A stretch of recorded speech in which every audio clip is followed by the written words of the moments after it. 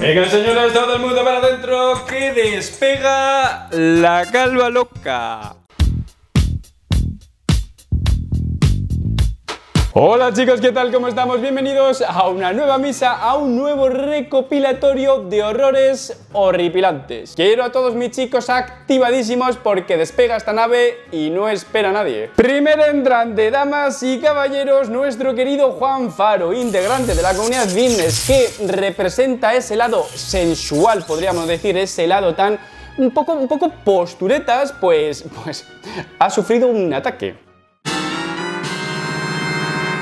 Su fortaleza, su castillo, la corporación Juan Faro Pro ha sufrido un ataque por algún tipo de vándalo que le ha lanzado huevos. Y ayer alguien, que más o menos no sé quién es, eh, tiró huevos para hacer la gracia. Huevos de gallina, así, con los que te haces la tortilla, ¿no? La buena proteína, buen valor biológico, ¿eh? Bastante bueno.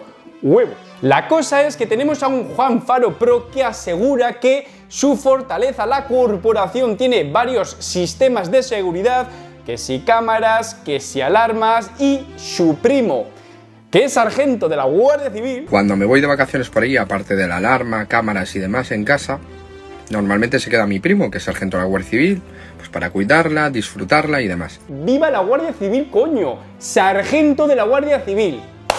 Pues aún así, ¿qué, le han atacado? Eh, tiró huevos la gente normal cuando se marcha de casa deja al Doberman. Juan Faro no, deja a su primo sargento de la Guardia Civil. A mi primo, que es sargento de la Guardia Civil. Y que no hay manera, chicos, que deja a su primo y que no hay manera, que le han tirado huevos. Podemos calmarnos ya un poco en esta comunidad porque, claro, yo siempre digo que es terrorífica, pero claro, estamos traspasando ya los límites, estamos pasando ya de, lo virtual a lo real. Señores, que, que le, han, manchado la fachada de huevos, que eso se quita mal, ¿eh? Eso tienen mal limpiar eso, eso sale mal, ¿eh? Le han manchado la fachada. Lo mejor de todo es que sale Juan Faro, modo furias ahí, soltando el comunicado y de repente, a mitad de comunicado, le interrumpe la Machu con un, con un Juan. Cuando llegue a Madrid y vea las cámaras, una, si lo pillo en el acto, se entera por mis huevos que se entera.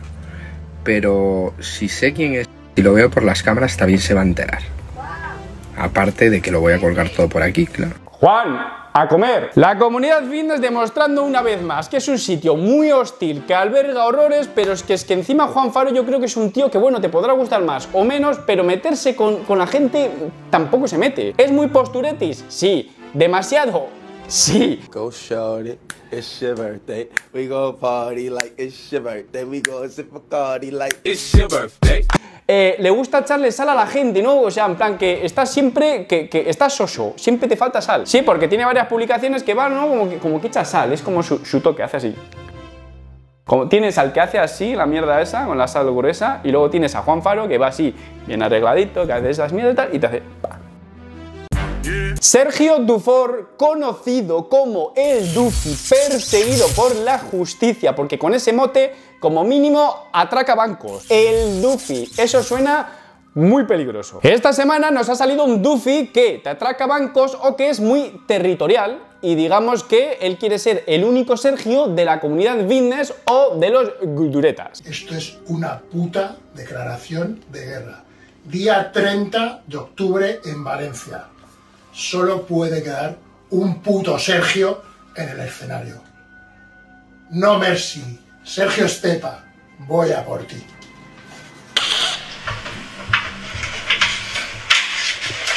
Ya estás en mi puta nevera. Ahora, esto es la guerra.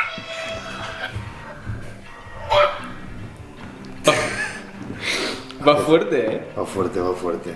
Pero bueno, yo voy a ir más fuerte. Nos vemos el día 30. Por lo visto, el nombre Sergio prolifera con facilidad dentro del culturismo y él ha hecho un comunicado donde nos deja ver que es el único Sergio. Vosotros sabéis que llevo tres semanas como cultureta natural, optimizado, pero mm, con salud en este caso, y la cosa es que, ya me están robando mi imagen para infografías. Sé que la noticia de Papizorro Cultureta todavía sigue haciendo gracia hasta que me ponga fuerte y callemos bocas, pero la cosa es que, que, me han sacado para infografías. Me habéis pasado una infografía donde claramente es Papizorro en su versión dentro de 12 meses. Soy yo, ¿eh? Ese es mi clon, ¿eh? Me cago en la puta. El Tito Chuache lo tiene bien claro. Vamos a entrenar pecho banca hasta el último día de nuestras vidas. Cuando estemos en nuestro lecho de muerte y tengamos las recomendaciones del médico de te calmas, te quedas aquí, que, que no estás para muchos trotes, si toca pecho banca, iremos a hacer pecho banca. Tú lo sabes, yo lo sé, Arnold lo sabe mucho mejor porque inventó las reglas de este videojuego. Why do you still come to the gym? about that for the same reason as why am I having breakfast today? I had breakfast yesterday, I had breakfast 10 years ago. Why am I still having breakfast? Why am I still sleeping? Right, right, I slept five, 20 years ago, I slept 10 years ago, so I'm still sleeping every, It's every so night. it's so rooted in who you are. Exactly. It's, it's, it's the same as with training. Training is part of my life. Hilando con este entrante, vamos a seguir mencionando al Tito Chuache que está de moda, pero quizás por cosas un poco turbias. Está un poco, un poco en la palestra, pero el Tito Chuache, a ver, ya a estas alturas se le perdona. Quiero decir, la puede liar mucho, pero es el Tito Chuache y ya está, está mayor, se le perdona, pero la ha debido liar un poco, ¿eh? Un poco bastante. Ha debido ocurrir una polémica en torno al Arnold Classic, pero en Inglaterra, de los buenos ingleses, que básicamente Arnold es como que ha saltado del barco. Por lo visto Arnold no va a asistir a dicho festival y por lo visto el tema de la financiación pues como que ha habido bastantes problemas. Tampoco es que sea una noticia que conozco de primera mano y además he estado traduciendo, hay unas publicaciones con el traductor de Google, así que a saber lo que me ha traducido, pero si no he entendido mal, Arnold les ha dejado un poco tirados y la financiación ha tenido que salir pues de otros bolsillos. Por lo visto, la liga profesional de la IFBB y dos Bros Pros Events han cogido la batuta para sacar esto adelante y que los buenos culturetas puedan disfrutar pues de este festival. Si el Arnold Classic ya venía estando en decadencia, ahora después de esto, señores, nos queda un telediario. Por favor, vayan abandonando que esto se va a pique, ¿eh? El Arnold Classic le queda menos que a ti con ella, que estáis en crisis y todavía no abrís los ojos. Zorrete, que dejes esa relación que no te conviene, coño, que es que todavía no te enteras, macho. James Roca, antiguo youtuber polémico, pero que ahora es un youtuber rollo Power Explosive, pero muy del AliExpress, me mencionó en una historia. Producción, échatelo.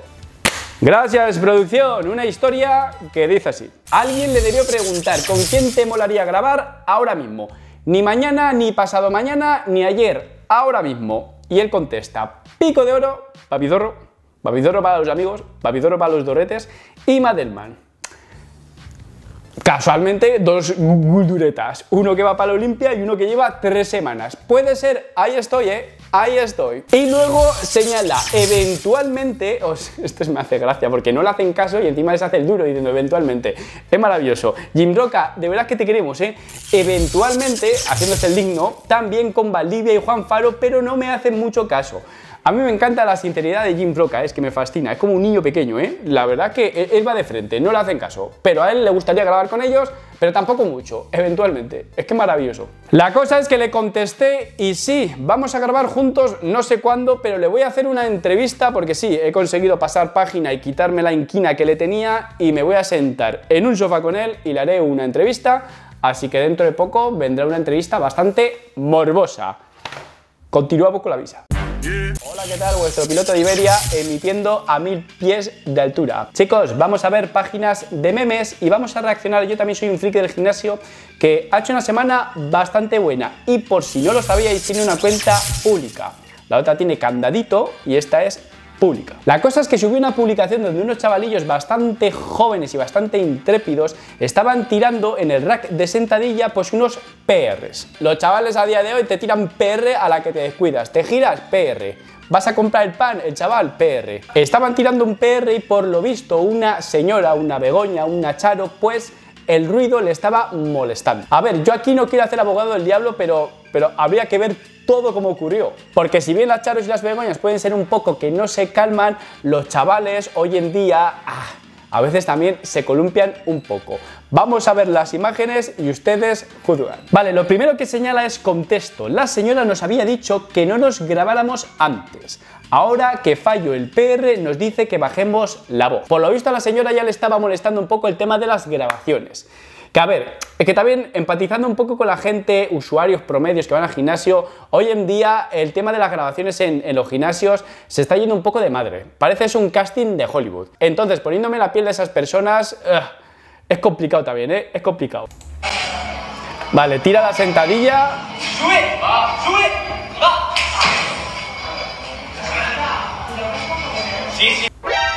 A ver, ha sido un fallo, pero tampoco es, tampoco, tampoco. Sí, le ha pegado un grito, sube, pero tampoco es que estén haciendo un ruido, no sé, tampoco, tampoco es para tanto. La cosa es que la señora indica, escucha, ¿podéis bajar la voz? Sí, ahora bajamos, ya está, es la última. Pero para animar está bien, ¿sabes? Vinga. Si vols entrenar sola, que és un gimnàs privat. No, sí. Comercial. Mira, jo baixo la veu, ¿vale? Però si tu vols entrenar sola... Bueno, és igual. És igual, vale, però no estem en un gimnàs al Claro, el chaval asegura, ¿no? Si quieres entrenar sola o si te molestan los gritos, los gruñidos, te vas a un gimnasio privado, pero esto es algo público. Claro, es que ¿dónde ponemos aquí los límites, no? A ver, yo dentro de, de- de unos límites de la cordura, eh, obviamente tú vas a entrenar, no es algo, no sé, en yoga sí que están bastante eh, tranquilos y en silencio. La gente cuando entrena, pues muchas veces hay gruñidos, van al fallo, se fallan, pasan cosas como estas. Y tampoco podemos perder la esencia del gimnasio, ¿no? La esencia del blindamiento. Pero por otro lado, sí que es verdad que hay algunos personajes que están para encerrarlos, que montan unos cristos que de verdad que parece es un espectáculo. Entonces, claro, es un poco complicado. Yo en este caso creo que eran unos chavales que tampoco estaban haciendo nada del otro mundo. Además, un chaval bastante educado y bastante correcto, ¿no? Indicándole a la señora que, que- se calme un poco, que se vaya a, a un gimnasio privado.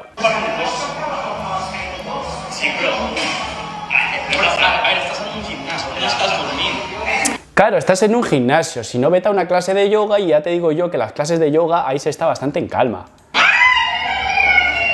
Ella empieza a imitarles de una manera bastante bastante chunga gritos de, mo- de motomami. Jim Bros nos descojonamos. Sí, sí, sí, ahora bajamos, ya está, es la última. Pero para animar está ¿sabes? Que encima se lo dice cuando el chaval está en el suelo, ahí derrotado por la barra, derrotado por, por, por no sé cuánto peso lleva, pero lo que sea, derrotado por el hierro. Bueno señores, llegamos al punto álgido del vídeo, al núcleo del incendio, a la perlita más brillante de esta corona. Chicos, despegamos. George Tabet, reputado cultureta andorrano, aunque va a representar a España eh, allí a dónde va. Sí, porque no sé exactamente a dónde va, pero ahí en Estados Unidos a dónde va lo representa. Pero es cultureta andorrano, español. Viva España, coño. George Tabet ha creado una serie en Estados Unidos donde está mostrando, pues, lo típico, ¿no? Los días finales a una competición muy esperada porque George, mm, digamos que este año se le había hecho un poco bola. El inicio de este año no era muy alentador porque estuvo lesionado, estuvo muy lejos de las redes sociales y estuvo bastante jodido. La cosa es que el tiempo pasa y el tiempo todo lo cura y ahora está en Estados Unidos a punto de competir. De hecho, estoy grabando esto a las 3 de la tarde del sábado, sí, con la diferencia horaria creo que le quedarán unas horas. Estamos grabando en tiempo de descuento. Está a puntito de competir porque compite este sábado. Hora, ni puta idea. La cosa es que está mostrando una condición y una puesta a punto nunca antes vista en su persona y por lo visto esa dupla con Raúl Carrasco está funcionando. Pero a pesar de que está haciendo las cosas muy bien, ha salido el listado de competidores, ha echado así un vistazo y ha dicho, me cago en la hostia. Jalis, ha salido la lista de competidores y bueno, ya sabéis que os tenéis que fijar en uno mismo. Al final lo que cuenta es superarse uno mismo, pero señores, es inevitable, somos humanos y yo soy el primero y obviamente he visto la lista de los competidores, ¿vale? Ahí ha empezado mi día y ahí ha empezado George, por favor, no pierda la fe, cálmate, viva Andorra. Una preparación de estas a nivel psicológico toca mucho porque al final llevas tu cuerpo a un extremo en el que las cosas pues funcionan como funcionan y la cabeza te puede jugar una mala pasada. Y claro, en este estado ver un listado donde ves un nivel de la hostia, pues bueno, todos somos humanos y George Tabet también. Tabet también. Vale, va a competir en el San Antonio Pro Yamamoto Nutrition y lidera este listado donde tenemos aquí George Tabet, eh, Alexandre, España. Este es el listado con varios culturetas de renombre que seguramente no conozcas, zorrete mío, yo tampoco conozco a, pero he hecho un poco de equipo de investigación y mis fuentes bastante fiables me han dicho quiénes son mm, los favoritos para el top 3. ¿Papizorro no sabe culturismo? Puede ser. ¿Papizorro es un buen trabajador y se informa? Puede ser también. ¿Qué quieres que te diga Marvin Jimerson de Texas?